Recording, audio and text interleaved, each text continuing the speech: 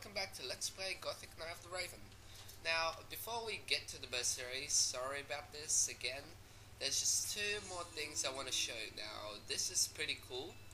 Inside this cave, I'll show you the location in a second. Uh, I've already cleared out everything. You find three zombie skeletons. Oh wait, three skeletons. Uh, wait, three goblin skeletons and three zombies. Now, once you cleared them, you can find some pretty cool stash. Paladin sword, a Paladin's two-hander, which is quite good early in the game, and a jewel casket, which you can sell for around a thousand gold. Now, the location is not far from uh, Orlan's Tavern. It's just near the teleport stone, and it's near the graveyard. So you shouldn't have any trouble finding it at all. And the second thing I want to show you is not far from here. It's a quest which I should have got around in the chapter 1, around episode 10 or 15. But I kind of forgot for some reason. I thought I had it when I checked through my videos, but I guess not.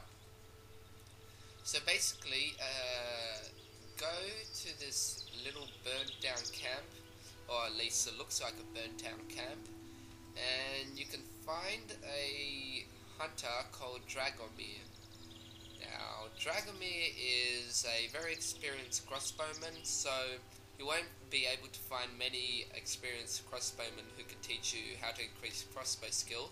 So, if you complete his quest, that will be very, very good for you. Traveling so far from home. Out here, you have to be careful, especially when you're all by yourself. What are you doing out here? Well, the tavern is too expensive for me. That's why I settled here. The previous inhabitants don't seem to need it anymore.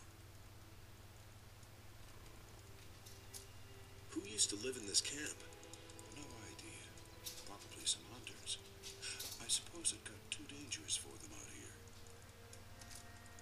Isn't it too dangerous out here?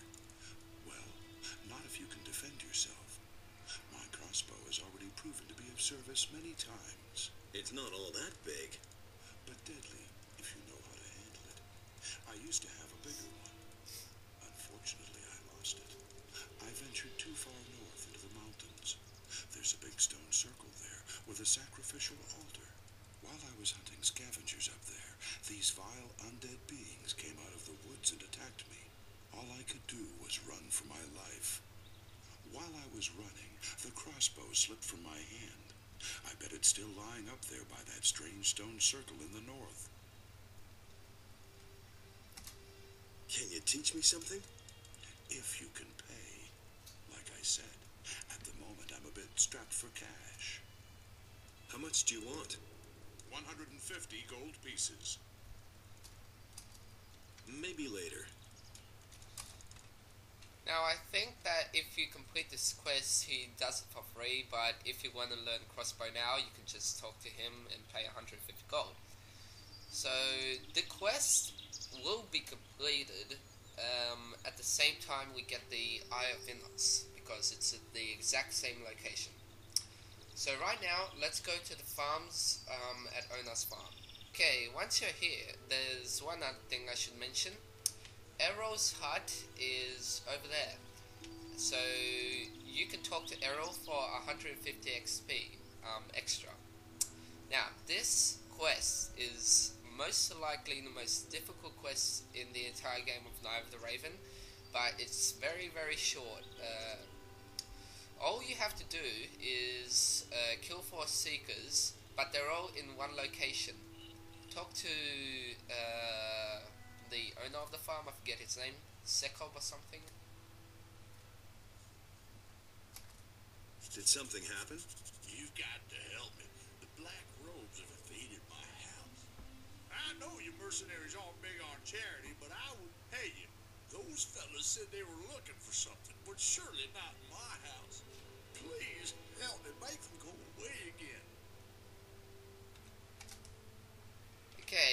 Gonna save here an attempt to risk risk uh, and kill the you know black robes, as they call it. Now, this quest may be easy, I'm not sure, I haven't tried it, but by the looks of it, it's extremely difficult seeing as there's four seekers inside the house.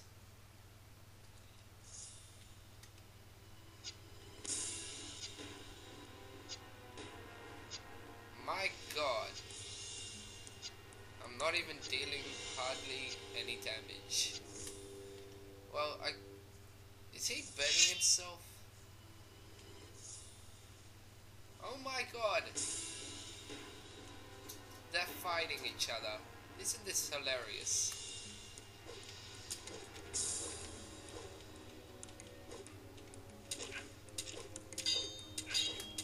Oh dear.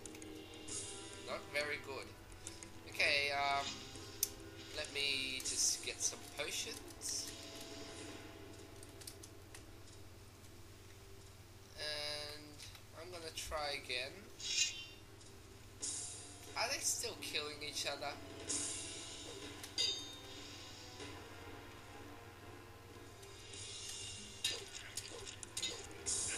This has got to be the most hilarious sacrificial uh, ritual I've ever seen.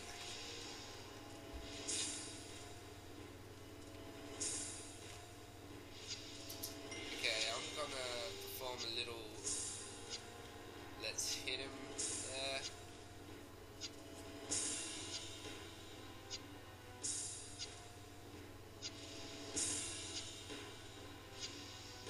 Is he dead yet? Okay, I might probably edit out this part video. Or maybe not, just to show you how to kill them. But this is definitely some very, very weird glitch going on. This has never happened to me before. I've never seen Seekers being so angry at each other. Um, okay, something really bad happened. When I was editing out this video, I realized that Fraps, when I was recording and not recording, it recorded the stuff I didn't need. So, for example, when I started recording, it recorded things I was starting to finish recording. Confusing, but it sucks. Now, basically, I'm just going to tell you what what else happened. I killed the uh, what what they called seekers. Talked to Sekob for 400 XP and 250 gold. Then what I did is go to Bengar's farm. Those are the high pastures on the near the pass. Uh, you should know where it is. And talk to him to get a quest uh, about some. Well, most of these farmers just left uh, his farm. So basically, talk to him about that, and also talk to him about uh, the missing people, and you'll get 150 XP for that. Then uh, go to Wolf and talk to him, and that's where I finished off. Uh, basically, what Bengar tells you is just to go to Wolf and talk to him uh, to get some people to help protect the farmers on his farm. So right now, I should be saying see you later because you know it really sucks when I uh, spent like a lot of time making video and then realizing that I stuffed up.